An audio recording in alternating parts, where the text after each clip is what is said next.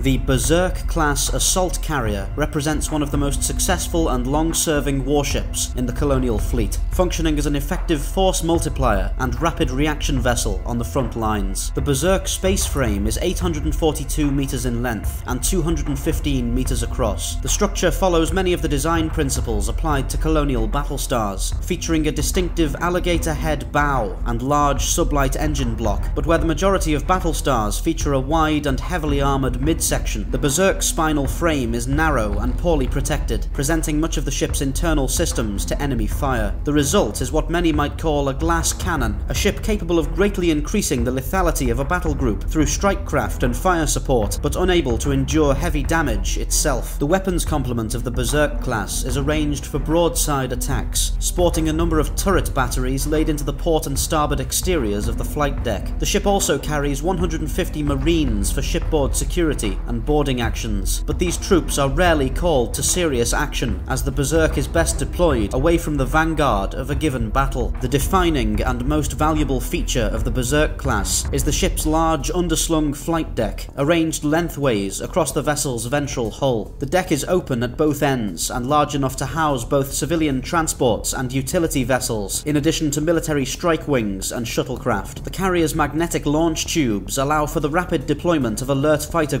and extensive maintenance facilities on deck allow strikecraft to be repaired and rearmed with incredible efficiency. The Berserk class is large enough to rival a Battlestar in size, but the ships are almost never deployed in a command role. Their limited durability makes them poorly suited to heavy combat, but their extensive carrier capabilities and powerful DRADIS systems make them exceptional support craft. The addition of even a single Berserk class carrier to a colonial flotilla offers a powerful advantage to the larger force, often forcing hostile vessels to circumnavigate colonial formations in the hopes of striking the carrier and mitigating the threat of its fighter squadrons. Throughout the First Cylon War, the Berserk class served as a powerful asset to the forces of the colonial fleet, partaking in numerous crucial engagements against the Cylons across the Cyrannus system. The ship was so successful that it remained in service even 40 years after the war came to a close, with some examples of the class surviving long enough to fall victim to the brutal invasion that marked the outbreak of the Second Cylon War.